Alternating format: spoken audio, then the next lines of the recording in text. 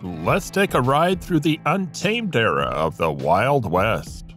Are you ready to embark on a journey filled with danger, treachery, and legendary figures who ruled the lawless lands of the frontier? Hold on to your hats, because today we're delving deep into the heart pounding realm of the top 20 deadliest outlaws of the Wild West. Number 20 Henry Newton Brown. This dude had a pretty wild life, I'll tell ya. He was both a lawman and an outlaw, can you believe it? He actually rode with Billy the Kid's gang, rustling some cattle and all that. But when the kid went back to Mexico, this fella decided to stick around in Texas. He got himself a gig as a deputy sheriff in Oldham County. But guess what? He got fired because he kept picking fights with drunks. So he found another job as an assistant marshal in Caldwell. Now, this guy had a reputation for getting things done. He cleaned up that tough town real quick, earning himself the nickname one of the quickest men on the trigger in the Southwest. But here's the kicker he couldn't stay on the straight and narrow for very long. He went back to his old outlaw ways and got mixed up in a shootout during a bank robbery. Things didn't turn out too well for him after that. The angry townsfolk had had enough of his shenanigans, so they took matters into their own hands. They formed a mob and decided to lynch him in 1884. Number 19. The Bloody Espinosas. Back in 1863, there was a fearsome gang led by brothers Felipe and Jose, along with their cousins. Originally from Veracruz, Mexico, they witnessed the brutal loss of six family members during the Mexican American War, when their town was bombarded. They also felt wronged by the disregard of their land grant as more and more white settlers encroached upon their property. Driven to extreme measures, they turned to horse theft and violence, targeting the white settlers. However, their spree of criminal activity came to an end when the U.S. cavalry pursued and ultimately eliminated them. Number 18. William Curly Bill Brocius. Let me tell you about this guy called Curly Bill in Cochise County. He was a real wild one, known for his curly hair and his knack for rustling cattle. He was part of a gang of cowboy outlaws in Tombstone, Arizona. Now, things got real messy when he accidentally killed Marshal Fred White while working as a tax collector. Surprisingly, he got off the hook thanks to Wyatt Earp's testimony. But hold on to your hat, cause Curly Bill took revenge and shot Wyatt Earp in retaliation for his brother's death. It was a wild ride with a tragic end for old Curly Bill. Number 17. Sam Bass. He began his life as an honest individual who escaped from an abusive relative and sought employment at a sawmill in Mississippi. Later, he ventured into the cowboy lifestyle in Texas. In 1876, he partnered with a rugged companion named Joel Collins to drive a herd of longhorn up north intending to sell them at higher prices. However, they decided to steal the cattle instead and divided the resulting $8,000 profit amongst themselves, spending it on gambling. Additionally, they engaged in robbing stagecoaches and trains, culminating in the Union Pacific's gold train heist, which yielded $60,000, marking the largest robbery of its kind. During one of their criminal endeavors, Bass sustained injuries inflicted by a Texas Ranger and tragically passed away two days later, coinciding with his 27th birthday. Number 16. James Averell. James Averell was accused of being a cattle thief and unfairly executed alongside Cattle Kate Wilson by a group of powerful cattle ranchers. This event became one of the many factors that led to the Johnson County War. Averell had a military background and was initially stationed at Fort Douglas, Utah, and later at Fort McKinney, Wyoming, near Buffalo. While in Buffalo, he fatally shot a man, but no charges were brought against him. He eventually became a landowner and resisted the control of the influential cattle baron Albert J. Bothwell. As the conflict dragged on for months, he and Cattle Kate were labeled as outlaws and ultimately killed. Number 15. Thomas Coleman Younger. After his father was murdered, Thomas Coleman Younger transformed from an American Confederate guerrilla into an outlaw and joined the infamous James Younger Gang, alongside his younger siblings Jim, John, and Bob, as well as Jesse and Frank James. Following his involvement in the Confederate Army, he came under suspicion for the 1868 robbery of Nimrod Long and Company in Kentucky. In addition to targeting banks, the gang also committed robberies on stagecoaches and trains.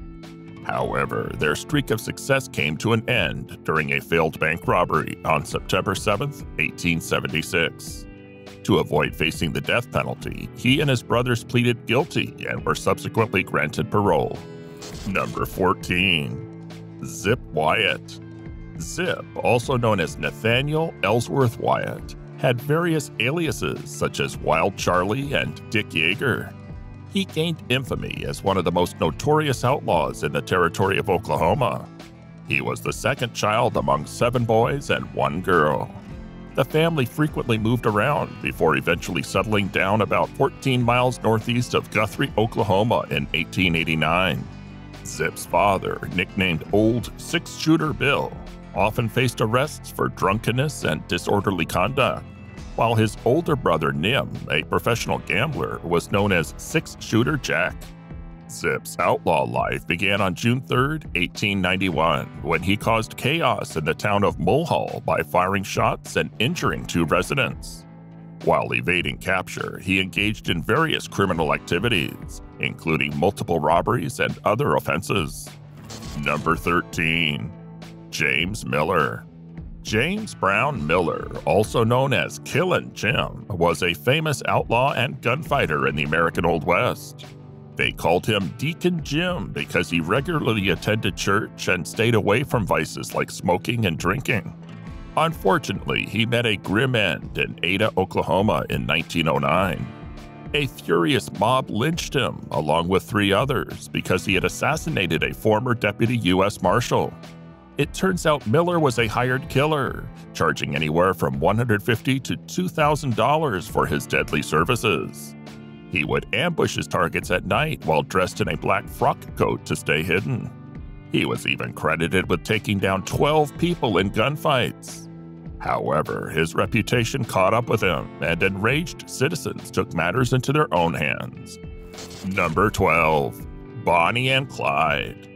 If we're talking about outlaws who lived fast and died young, Bonnie Elizabeth Parker and Clyde Champion Barrow are the real deal. Just like in the 1967 film Bonnie and Clyde. They formed the Barrow Gang along with Clyde's brother Buck and his sister in law Blanche, and went on a spree of robberies and killings across Texas, Missouri, Louisiana, and Oklahoma. And Clyde were American criminals who roamed around the central U.S. with their gang during the tough times of the Great Depression. They were infamous for their bank robberies, though they often targeted small stores or rural funeral homes. The media and the public were captivated by their escapades during the quote, public enemy era between 1931 and 1934. Eventually, they were ambushed by the police and fatally shot in Louisiana. It's believed that they killed at least nine police officers and four civilians. Number 11. Wild Bill Hickok. James Butler Hickok, also known as Wild Bill, was a legendary figure in the American Old West. He lived a thrilling life as a soldier, scout, lawman, cattle rustler, gunslinger, gambler, showman, and actor, and was involved in numerous famous gunfights. While some of the stories he told on himself were exaggerated or made up, they contributed to his fame during his time. Hickok was born and raised on an Illinois farm where lawlessness was prevalent due to groups like the Banditti of the Prairie. Drawn to this rough lifestyle, he fled west at 18, working as a stagecoach driver and later becoming a lawman in Kansas and Nebraska. During the Civil War, he fought and spied for the Union Army, gaining further attention as a scout, sharpshooter, actor, and professional gambler after the war. He was involved in several notable shootouts throughout his life.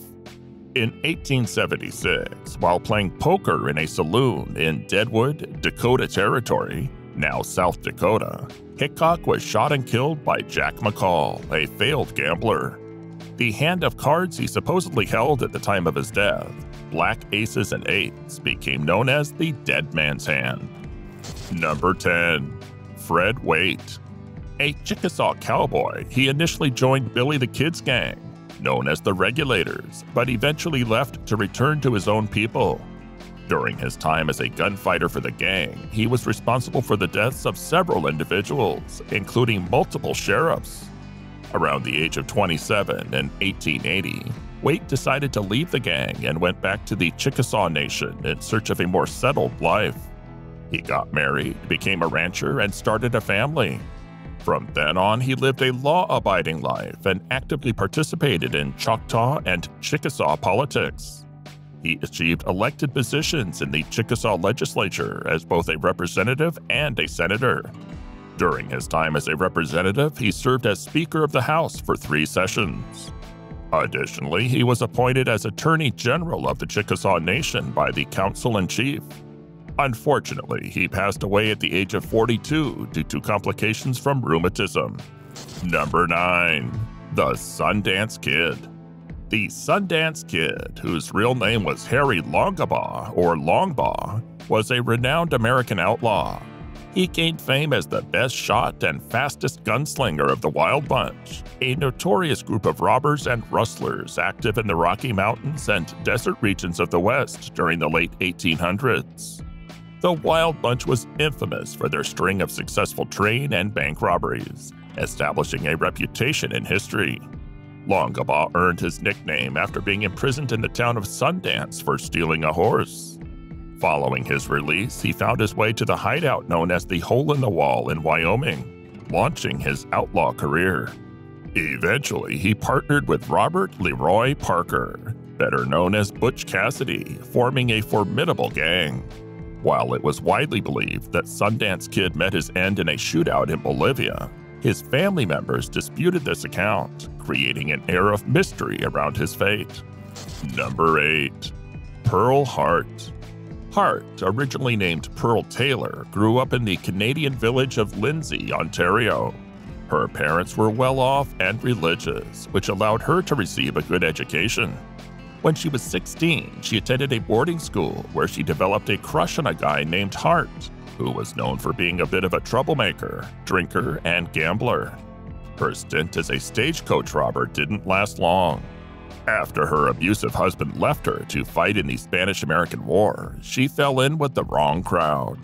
She teamed up with a gambler named Joe Boot to plan a robbery, hoping to get back to her dying mother in Canada. Unfortunately, they got caught and ended up in prison. She managed to charm her way out once, but got recaptured and ended up serving only two years out of a five year sentence in a male prison. Eventually, the governor pardoned her upon discovering that she was pregnant. Number 7. Butch Cassidy. Born in 1866 as Robert Leroy Parker in Circleville, Utah, Butch Cassidy grew up in poverty as one of 13 children. He learned the tricks of the trade from a cattle rustler named Mike Cassidy, helping him make a living through less than honest means. In 1889, Cassidy and three others committed their first recorded crime a bank robbery in Telluride, Colorado, taking off with $20,000. Adopting the name Butch, he formed the Wild Bunch Gang in Wyoming, including the Sundance Kid. After a stint in prison for horse theft, Cassidy's gang robbed a bank in Montpelier, Idaho in 1896, getting away with $7,000. They carried out several more robberies, including a notable $70,000 haul from a Rio Grande train robbery in New Mexico. With law enforcement closing in, Cassidy and the Sundance Kid fled to Argentina. Some believe they met their end in a shootout in Bolivia, while others speculate they escaped and lived under new identities. Number 6. Belle Starr Born into a Confederate sympathizing family, Myra Maybelle Shirley Starr, later known as Belle Starr, had a fascinating life as an outlaw. In her teenage years, outlaws like Jesse James used her family's home as a hideout. Over the years, she married three outlaws, including Jim Reed and Sam Starr. Belle Starr faced legal troubles, serving time for horse stealing and being charged again in 1886. However, her legal skills helped her to get acquitted. Unfortunately, her husband and an Indian policeman died in a shootout. Tragically, Belle Starr was murdered near her Oklahoma cabin in 1889 at the age of 40. The crime remains unsolved, with some suspecting her son as the culprit. Despite her notorious reputation, Glenn Shirley, a writer on the subject, claimed that the only truth in the reports surrounding her death was that she had indeed passed away. Number 5. Geronimo Geronimo, a prominent leader of the Bedonko Apache, was also known by his Chiricahua names, such as Goyatle or Goyakla, meaning one who yawns. In 1858, a devastating attack by Mexican soldiers resulted in the death of his mother, wife, and three children. This event transformed Geronimo into a fierce warrior, joining the Chiricahua in numerous raids across the U.S. border and northern Mexico. Geronimo is renowned for his unwavering resistance against anyone, be it Mexican or American, who tried to remove his people from their ancestral lands. Geronimo skillfully evaded capture and resisted life on a reservation, even prompting a significant pursuit by a quarter of the U.S. Standing Army during his final escape. However, he was eventually captured on September 4, 1886, making him the last Native American leader to formally surrender to the U.S. military. The remainder of Geronimo's life, which spanned 23 years, was spent as a prisoner of war. Number 4 the Apache Kid. The Apache Kid, also known as Haske Bay Ne Tial, had a fascinating life as a White Mountain Apache scout turned renegade in the late 19th and possibly early 20th centuries. Starting off as a scout to combat raiding Apache bands and assist settlers, he eventually became an infamous outlaw in Arizona, New Mexico, and parts of Mexico. The character of Apache Kid in Marvel Comics was named after him, although their stories are unrelated. While his exact birth date is uncertain, it's believed to be in the 1860s. While most accounts state that he died in 1894, there are claims from some New Mexico cattle ranchers that he lived on until the 1930s, adding an air of mystery to his fate. Number 3. John Wesley Hardin Known by the name of the Methodist Church founder, this American Old West outlaw, gunfighter, and controversial figure became a prominent character of folklore. Hardin found himself in trouble with the law from a young age, and he claimed to have acted in self defense when he killed his first man at just 15 years old. Law enforcement pursued Hardin throughout his life, and when he was 23, he received a 24 year prison sentence for murder. He boasted of having killed 42 men, though newspaper reports attributed 27 deaths to him. While behind bars, Hardin took an interest in studying law and penned an autobiography. However, it's well known that he often embellished or invented stories about his life, taking credit for killings that lacked supporting evidence. Just a year after his release from prison in 1894, Hardin met his demise at the hands of John Selman in a saloon in El Paso. Number 2. Jesse James Jesse James, born in Missouri in 1847, came from a family that supported the Confederacy and owned slaves. As a teenager in 1864, he and his brother Frank joined a guerrilla group that killed many Union soldiers. For some historians, Jesse James never let go of the Civil War, channeling his anger over the secessionist cause's defeat into a career of robbing banks, trains, and stagecoaches. He sometimes saw himself as a modern day Robin Hood, targeting Reconstruction supporters and giving to the less fortunate. According to the State Historical Society of Missouri, the James Younger Gang operated across a wide range of states, from Iowa to Texas to West Virginia. From 1860 to 1882, they allegedly committed over 20 bank and train robberies, amassing a total haul at an estimated $200,000. While their primary focus was on robbing train safes rather than individual passengers, they didn't hesitate to ruthlessly kill anyone who stood in their way. Number 1. Billy the Kid Billy the Kid, the notorious Wild West outlaw, had quite a reputation. According to legend, he supposedly took out 21 people before he even hit 21 years old, which is when he met his end. However, it's likely that the actual number of killings is closer to around 9.